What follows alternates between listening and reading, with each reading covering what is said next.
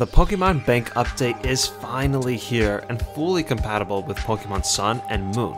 With it, you'll be able to transfer your favorite Pokemon from past generations, although the process may be a bit confusing at first.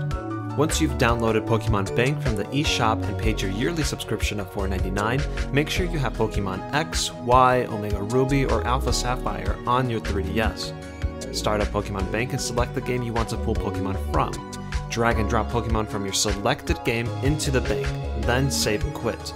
Switch the game to Pokemon Sun or Moon, and you'll be able to import any Pokemon hanging out in your bank. But what about Pokemon from even further back? That's where Pokemon Transporter comes in. In your Virtual Console copy of Pokemon Red, Blue, or Yellow, move all the Pokemon you want to transfer into Box 1, moving any Pokemon you want to keep in the game to a different box. Boot up Pokemon Transporter, select your game, and agree to move all the Pokemon from Box 1 into the Transporter box in the bank. Keep in mind that this is a one way process. These Pokemon cannot be taken back to their original game. Return to Pokemon Bank and you'll find your classic Pokemon sitting in a transporter box.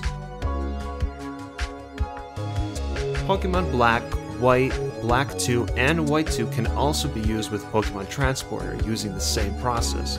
Pokemon from even further back need to be traded up to one of the Generation 5 games using their original trading methods.